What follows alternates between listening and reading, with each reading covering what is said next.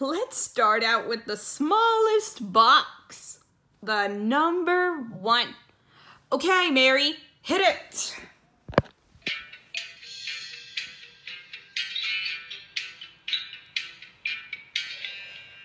One is the smallest number from 1 to 10. So which is the box we should put 1 in?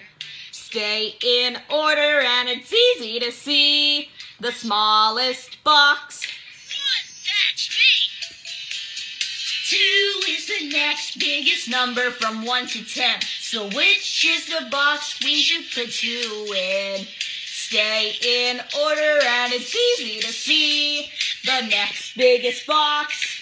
One, two, that's me. Three is the next biggest number from 1 to 10. So which is the box we should put 3 in? Stay in order and it's easy to see. The next biggest box. One, two, three, that's me. Four is the next biggest number from 1 to 10. So which is the box we should put 4 in? Stay in order and it's easy to see. The next biggest box.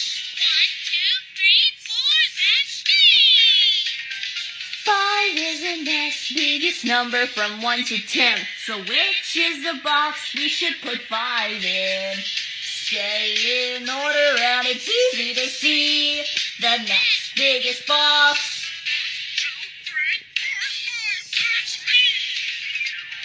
Six is the next biggest number from 1 to 10.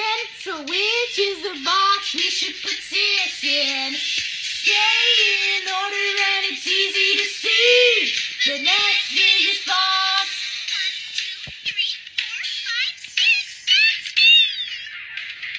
Seven is the next biggest number from 1 to 10. So which is the box we should put 7 in?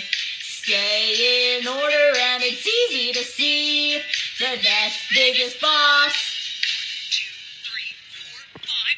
Seven, the next biggest number from 1 to 10. So which is the box we should put 8 in?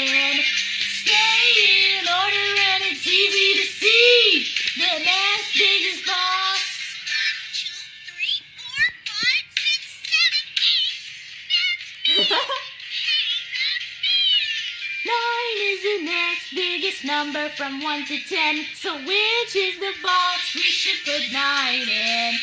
Stay in order and it's easy to see. The next biggest box. Nine.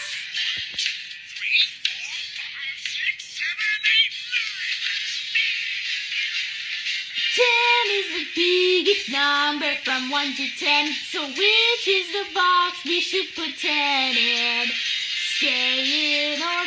It's easy to see. The next biggest box.